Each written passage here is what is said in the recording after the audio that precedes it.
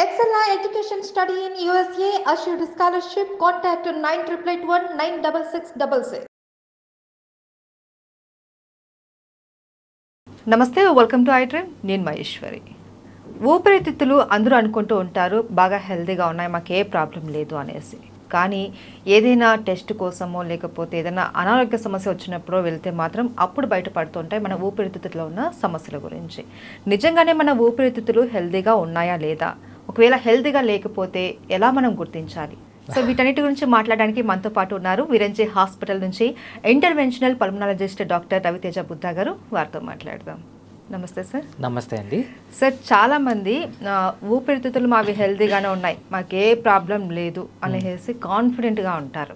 But ఎప్పుడన్నా హాస్పిటల్కి ఏదన్నా అనారోగ్య సమస్యతో వెళ్ళినప్పుడు మాత్రమే వాళ్ళకి తెలుస్తూ ఉంటాయి. సో మీ ఊపిరితిత్తుల్లో సమన పలానా సమస్య ఉంది అనేసి నిజంగానే మన ఊపిరితిత్తుల్లో ఏదైనా సమస్య ఉంది అనేది డాక్టర్ల దగ్గరికి పోకుండా మనకి మనం తెలుసుకోవాలి అంటే ఎలాంటి లక్షణాలు ఉంటాయి? ఒకటి అండి. ఊపిరితిత్తులు సంబంధించింది ఏంటంటే చైల్డ్హుడ్ నుంచి ఉండే ఛాన్సెస్ ఉంటుంది.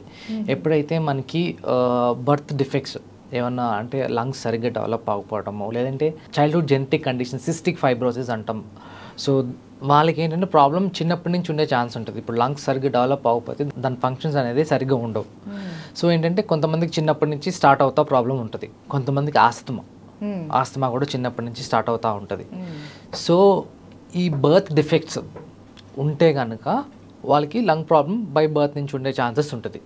కొంతమందికి ఏంటంటే ఇన్హెరిటెడ్ సో ఎప్పుడైతే ఇన్హెరిటెడ్ అంటే ఏమైనా family history of lung cancers ఉన్నా కానీ వాళ్ళకి క్వైట్ కామన్గా వచ్చింది. అంటే ఫ్యామిలీ హిస్టరీస్ ఉన్న లైక్ ఐఎల్డీస్ కానీ ఐపీఎఫ్స్ కానీ ఐపీఎఫ్ పల్మరీ ఫైబ్రోసెస్ సో వాళ్ళకి ఏంటంటే వాళ్ళు కూడా ఫ్యామిలీ హిస్టరీ ద్వారా వచ్చే ఛాన్సెస్ ఉంటుంది అన్నమాట. సో కొంతమందికి ఎక్వైర్డ్ ఏంటంటే ఆ, ఎప్పుడైతే exposure factors so environmental factors కొంతమంది ఏంటంటే ఫ్యాక్టరీస్లో పనిచేస్తూ ఉంటారు. సో ఫ్యాక్టరీస్లో పనిచేయడం వల్ల ఇన్హేల్ చేస్తూ ఉంటారు. యూజువల్లీ మనకి మన ఇండియాలో ఏంటంటే స్ట్రిక్ట్గా మెజర్స్ ఉండవు. ఎవరు మాస్క్స్ కానీ ఎవరే అదే మీరు ఫర్ ఎగ్జాంపుల్ తీసుకోండి సింగరేణికి వెళ్ళారనుకోండి. వాళ్ళు కిందికి వెళ్ళి బొగ్గు తవ్వుతూ ఉంటారు. వాళ్ళకి ఎన్వైర్న్మెంట్ కానీ అట్మాస్ఫియర్ కానీ లైక్ వెంటిలేషన్ కానీ సరిగ్గా ఉండదు. అప్పుడు ఏమైంది? వెంటిలేషన్ సరిగ్గా ఉన్నప్పుడు ఏమంటే వాళ్ళు ఇన్హేల్ చేస్తారు. So over the period of years చేసి చేసి చేసి బొగ్గు అంతా ఊపిరితిత్తులు డిపాజిట్ అవుతాయి సో దానివల్ల ఏంటంటే వాళ్ళకి లంగ్ క్యాన్సర్స్ లేదంటే కోల్ వర్కర్ నిమోకోనియూసెస్ ఇవన్నీ వచ్చే ఛాన్సెస్ ఉండే. ఛాన్సెస్ ఉంటుంది అనమాట సో ఒక్క దానివల్ల కాదు.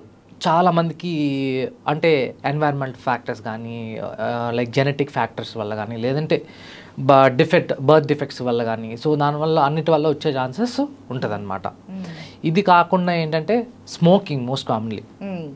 సో ఈ మోస్ట్ కామన్లీ ఇప్పుడున్న యూత్ కానీ లేదంటే ఇప్పుడున్న పెద్దవాళ్ళు కానీ స్మోకింగ్ ఫ్యాషన్ అయిపోయింది అనమాట సో స్మోకింగ్ మీరు స్మోక్ చేయకపోయినా కానీ సెకండ్ హ్యాండ్ స్మోకింగ్ ఎవరైతే మీరు ఎవరైతే స్మోకింగ్ చేస్తారు ఎస్పెషల్లీ కార్పొరేట్ కార్పొరేట్ కల్చర్లో ఎలా ఉంటే అంటే ఫ్రెండ్స్ పది మంది స్మోక్ చేస్తూ ఉంటే మనం స్మోక్ చేయకపోయినా కానీ వాళ్ళతో ఉంటాం.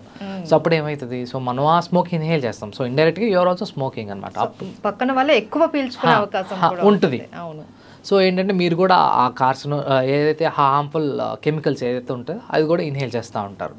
సో దానివల్ల కూడా వచ్చే ఛాన్సెస్ ఉంటుంది మీరు చెప్పారు ఈ మైన్స్లో చేసే వాళ్ళు కావచ్చు సింగరేణి ఇట్లా డస్ట్కి ఎక్కువ ఎక్స్పోజ్ అయ్యే వాళ్ళు కొన్ని కెమికల్ ఫ్యాక్టరీలు చేసే వాళ్ళకి ఎక్కువగా ప్రాబ్లమ్స్ వస్తూ ఉంటాయి అనేసి అన్నారు సో వీళ్ళు ఎప్పటికప్పుడు ఊపిరితిత్తుల్ని స్వయంగా ఇంట్లో ఎటువంటి మెడికేషన్ లేకుండా క్లీన్గా ఉంచుకునే అవకాశాలు ఏమైనా ఉంటాయా? ఫిల్టర్ చేసుకునే పద్ధతులు ఒకటంటే యూజువల్లీ ఏంటంటే ఏ ఫ్యాక్టరీస్లో ఉన్నా కానీ ఓ సేఫ్టీ ప్రోటోకాల్ అనేది ఉంటుంది.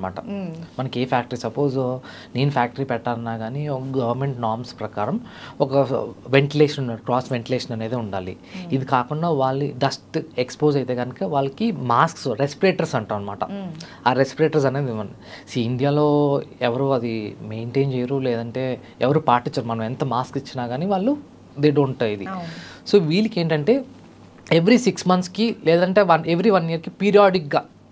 ఎక్స్రేస్ చేయటము లేదంటే పల్మనరీ ఫంక్షన్ టెస్ట్ చేయడము సో దానివల్ల ఏంటంటే మనకు తెలిసింది ఏమన్నా రిస్క్ ఫ్యాక్టర్స్ ఎస్పెషలీ ఒక ఫ్యామిలీ హిస్టరీలో లంగ్ క్యాన్సర్స్ ఉంటే ఇది ఈ ఎన్వైరన్మెంటల్ ఫ్యాక్టర్స్ కూడా యాడ్ అయితే ఇంకా ఎక్కువ రిస్క్ ఫ్యాక్టర్ ఉండే ఛాన్స్ ఉంటుంది కదా.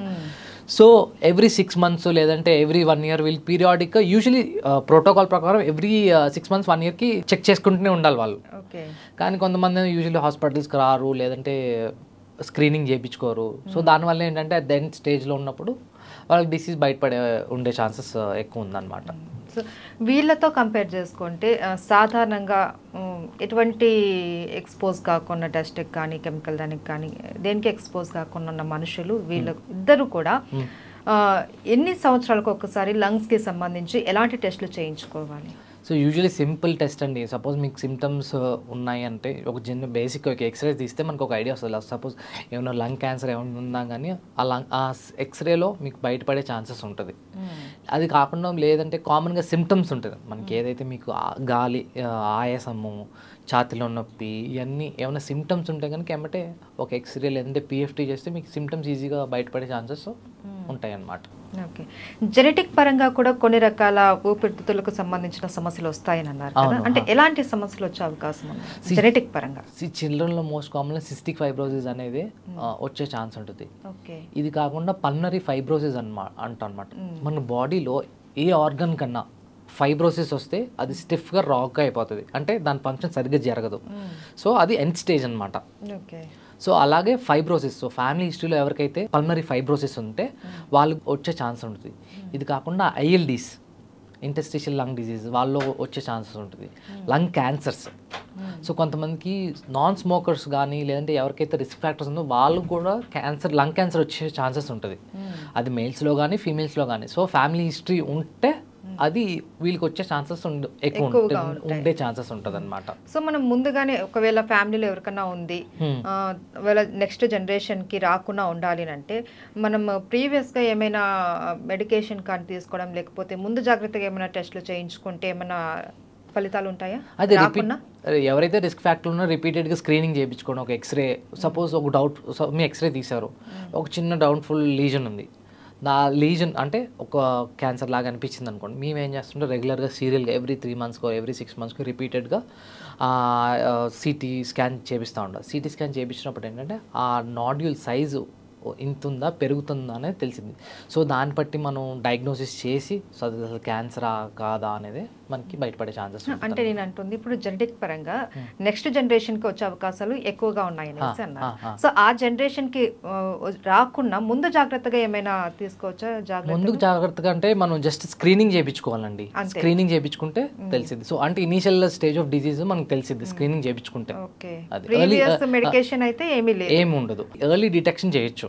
సపోజ్ లంగ్ క్యాన్సర్ ఉందనుకో జస్ట్ ఒక ఎక్స్రే తీస్తే మీకు ఏమన్నా డౌట్ఫుల్ ఉంటే దెన్ సిటీకి వెళ్ళిన తర్వాత అప్పుడు ఎంత ఎర్లీగా డిటెక్ట్ చేస్తే అంత ఎర్లీగా యూనో డయాగ్నోసిస్ వస్తుంది అంత ఎర్లీగా అవుట్కమ్ కూడా బాగుంటుంది అనమాట డిలే కొద్ది ఏంటంటే కాంప్లికేషన్స్ ఎక్కువ ఛాన్సెస్ ఉంటుంది అనమాట okay right thank you so much thank you